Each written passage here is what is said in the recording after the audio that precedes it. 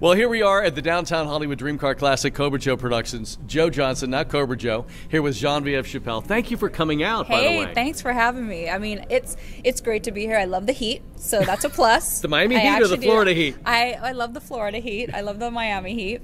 Um, yeah, it's it's really neat because I've never been to Florida for a car show or a car event. Um, just by chance, I was supposed to actually do one uh, a few years ago for a speed shop that was opening, and I got sick. So um, this is exciting. And I would talk to a couple of my other colleagues, like Dennis Gage and George Barris. They had not been through here for a car show either. So yeah, so it's exciting. It's great. Well, you know what? It's it's a scary thing with car shows in South Florida because around noon, one o'clock, we get these big thunderstorms Yeah. in the summertime. So you see the the owners of the cars going crazy trying to cover up their cars. But they stay. They stay at They the do. shows, right? Because They in will stay. California, one little sprinkle, everyone's out of there. So let's talk about cars and, and how it started for you because look, Okay. it's got to be a guy's dream to have a girlfriend who's into cars. Oh, I'm married. You, okay, my girlfriend appreciates them, but she's happy to let me go do a car show by myself. yeah. But uh, how did you get into cars? You have brothers growing up or what? Well, my grandma always collected cars. So from a young age, I knew that there was something special about it. Um, and so I, you know, and I always would, like, I'd get excited cruising with her and people would give us the thumbs up, and that was exciting. Fast forwarding, um, for about eight years, uh, I lived in um, a neighborhood in Los Angeles that was purely Hispanic. And so, with that culture, they do a lot of low riders. And I mean, when I talk about like bringing home a rust bucket, these things were brought home from the junkyard, like salvage yards. And then within three years, it was like a piece of art. I mean, hydraulics, you know, under the car lighting, um, chrome, like you can't believe. And so here I am for eight years with these garages that are open and they're coming home from work and they're working on them. And I would see that transformation, and that was amazing to me. But little did I know I was also picking up a lot of like car lingo and learning how to do things because, you know, we girls and guys would be hanging out watching, you know, and the guys loved it but they would show us what they were doing so i was also being educated at the same time. I never really planned on getting into the car industry um, but it just it happened because i had a knowledge of cars Well, you, it's great, and I, and I can see that you love it when I see I do, on yeah, television. yeah. And you know, you mentioned the restoration. There are so many. It went from being like you know Dennis Gage is my classic car, which is one of my favorites. Now there's like 40 car shows on television about restoration and bringing the old junkers out and Yeah. just collecting and buying and selling and the Yeah. auctions of the Barrett Jacksons Yeah. and the. So, what are some of your favorite events? Obviously, car shows. Do you go to the Yeah. auctions? Do you like to I bid? do. I know you, you hosted I one, do. right? Yeah, yeah. I hosted um, an auction. Actually, I've hosted lots of auctions. Uh, Bonhams and Butterfields, which is very proper and prim and English.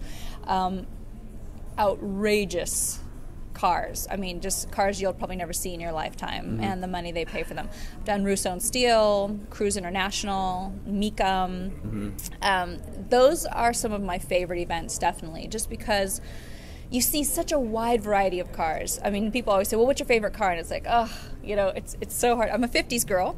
I love cars from the '50s because they're they're very curvy, so they have kind of a feminine, um, almost like a woman's figure, but also kind of a tough edge to them, you know. And you can customize them and, and make them. I, those are my favorite.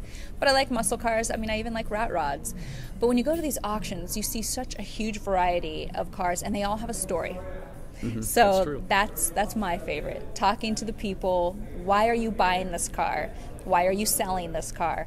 Um, getting people's stories is amazing. You know, sometimes they the baby boomers, mm-hmm. and it was a car that they always wanted, or it was a car that they they uh, met their girlfriend in, and now it's it's their wife, but they had a family and had to sell it, and they will go to these auctions and look for that exact year, make, and model, that exact color, and um, sometimes you'll see the wife with like watery eyes, and I mean, it's just you know, it's it's it just touches your heart, and that's, but it's really all about the people. Yeah. You know, I mean, you can tell I'm a people person. Um, the stories and if you think about it, this is because people say, "What's your favorite thing?" Because yes, the cars are wonderful, but everyone loves cars, so it really crosses like generations. It crosses whether it doesn't matter how much money you make, what color your skin is, where you're from. People love cars. So it really unites people when you come to these events and you meet people from all over the world and they all have a different story and they all like a certain car for a certain reason. I love that. Cars are like songs, actually. You know, when you hear an old song, you go, "Oh, I was in high school, and I Yeah, remember." And, yeah. I, and when I see a car, especially one that I owned, and uh, I had a '71 Chevelle in high school, I'm always trying to rebuy it because at the time I sold it, it's like, uh, and I, I never could buy it again. But I'll one of these days I will. Why But, did you uh, sell it? You know, you know- I'm going to get a story. I'm going to tell you. Here's my story. Gas was getting to be 80 cents a gallon. Right. And I said, "There's no way I can afford this on two dollars an hour." I wish I could have just put the car in my parents' garage and just set it away. I but know. It's all but I ended up. I bought a, a '69 Camaro and I have a Jeep and I have my Mustang, so I'm okay. But I'm not Well, Jay Leno. All right. Have you met him? no, Jay? Yes, yes. And I've- have you seen his collection? Did the whole tour. It's it's. There's no words to describe it. Yeah. Especially the vintage bikes. Um, I thought I had seen working the auctions over the years. I thought I'd seen every car that was out there. Yeah. Then you go to Jay's and you realize that you have not. I mean, he has some. His collection's amazing. I do enjoy seeing him with Dennis on, on the show. Yeah, So I yeah. know you have some shows coming up and you can't tell us much about it, but what type of thing will you be involved in with your television Um, program? so my shows aren't build shows, obviously. Um, we will be covering one of our shows. Is going to be covering um, designers and builders, uh, anything from like people just starting out.